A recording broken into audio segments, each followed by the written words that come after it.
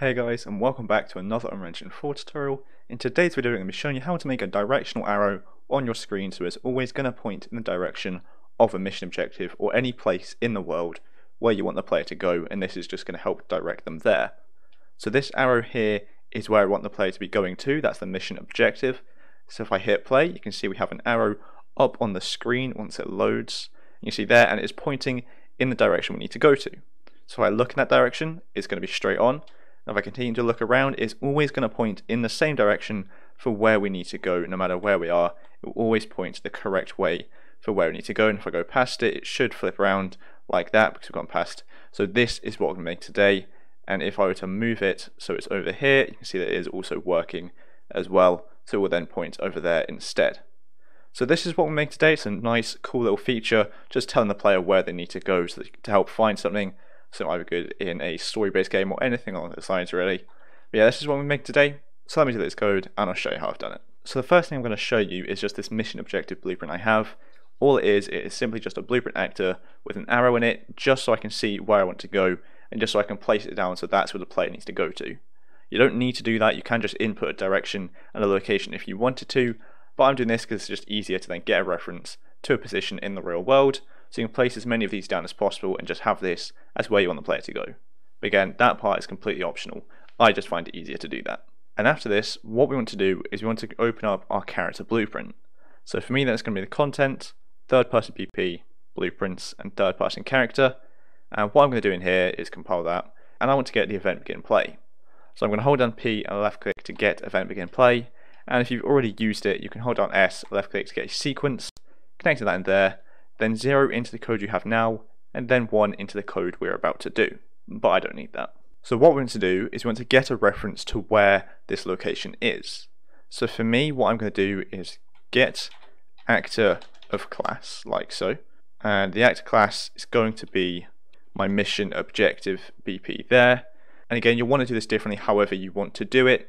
So instead, you may want to go from the mission objective casting to the character to set this location, or you might want to have get all actors of class, put it into a loop until you find the right one that you want to do, or you can simply just set the location variable, which I'll show in a second.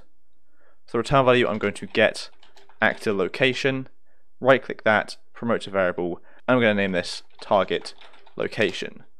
And if we compile that, you can change the default value. So again, what you can do is you can just make this variable and set its location there, or again, you can open up your mission objective BP, which I have here. And what you can do instead is cast to the character. So for me, that's the third person character, so being get player character. And then as third person character, what you can do is simply just set target location like so. And that way it's easier. And what you can do is the location can just be get actor location like that.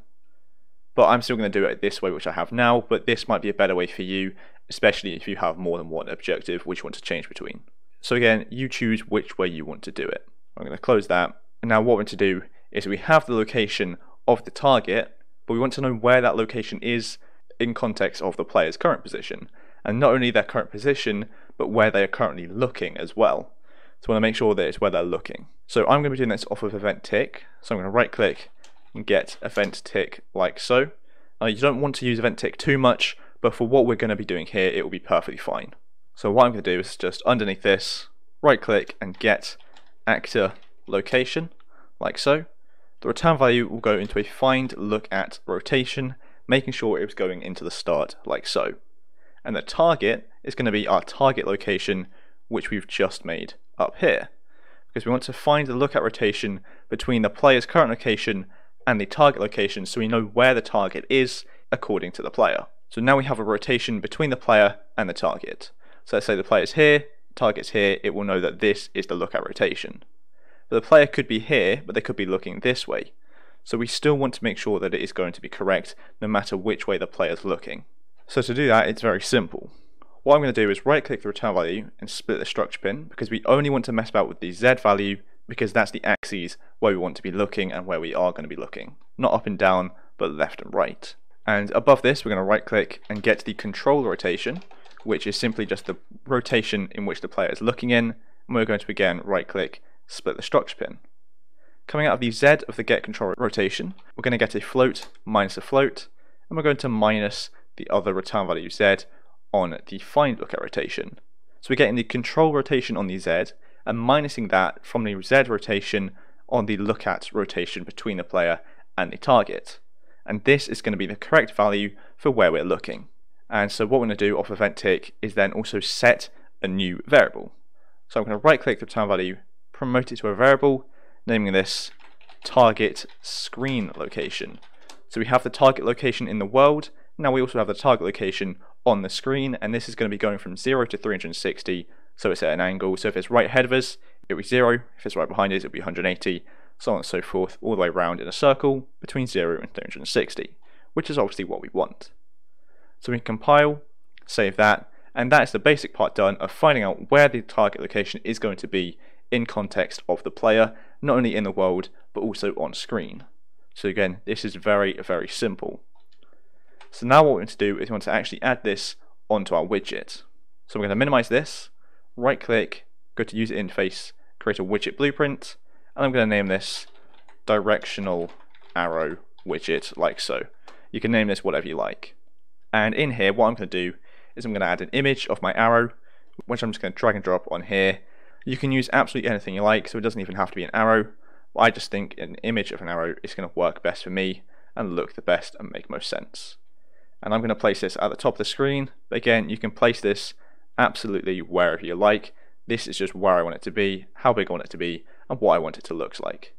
So this right here is going to be on screen, with the arrow being up here, and it's just going to be rotating in a circle up there. So again, change that to make it look like whatever you like, but that's going to work well for me. So I'm going to compile and save, and we're going to go over to the graph of this widget. I'm going to delete event pre-construct and then move construct and tick up here like so, because we want to be using these two here. So off of event construct, we want to make a reference to our character so we can access this variable that we've just made. So I'm going to cast to my character, which for me is the third person character. Object is obviously going to be get player character like so. And all I'm going to do is simply right click our third person character, promote it to a variable, naming this character reference like so. So we have a reference to our character to easily access that variable. Now on event tick, what we want to do is we want to rotate that image that we've just made. So what I'm going to do is drag and drop in the image here, get image, and out of this I'm going to set render transform angle. So that's the rotation. That's how you set a rotation of an image in a widget. You set the render transform angle, connecting that in there like so. Then how do we get the angle? Well, we've just done that in the character blueprint. So we can get a reference to our character reference here, get character ref, and out of this we're going to get target screen location like so and for me what I also need to do is I need to invert this because by default for me anyway it is inverted. So 1 is actually facing backwards and 180 is facing forwards. So obviously I don't want that. So what I'm going to do is drag out this and get a float multiplied by a float simply timesing it by minus 1 now you don't have to do that. I'd make sure to just double check with you because it's like that for me might not be for you, so just make sure that you double check. And if it is wrong, just either times it by minus 1 or times it by 1 or don't times it by anything. Just again, it will either be minus 1 or 1. So I'm going to compile, save, and that should now work. So again, in the character blueprint, we're going to be finding the correct rotation from the camera's current facing rotation and where the target currently is in the world. And then we're simply going to be just making sure that that angle is what the rotation of the arrow is set at so it looks like it's always going to be facing the arrow. Also I should mention to make this work the arrow does need to be pointing up, straight up by default like this, so it's pointing straight forwards by default, otherwise it won't work. So I'm going to hit play and we can test this out, although one major thing I forgot is we need to add this widget onto the screen. So we can go back to the third person character, on event begin play again, I'm simply going to create widget like so. The class is going to be my directional arrow widget and the return value will be added to viewport like so. Hit play and now you can see we have the arrow on screen pointing in the direction of where this mission objective is. If I look at it, it's going to be straightforward. I look away, it's always going to be facing the correct location for wherever it is, no matter where we go. So let's try and find it, but just by simply following this arrow, you can see it's straight ahead over here. If I go past it, it's going to flip around like that. So this works perfectly. And what I can do again is just move this to be somewhere else. So again, I'll put it back in this corner over here, hit play, and it's pointing in the right direction once again. And we can go find it based on which direction this arrow is pointing in, like so. So this works perfectly. So I think that'll be it for the video, as we've done everything we want to do. We've set up this directional arrow, which is always going to point in the correct direction of our mission objective, which we have, and it's going to be pointing at it on screen so the player doesn't get lost, and they always know where to go. And again, I think this is a nice, really cool little feature to add into your game. So thanks so much for watching. I hope you enjoyed it and I hope you found it helpful. And if you did, make sure to like and subscribe down below. So thanks so much for watching, and I'll see you in the next one.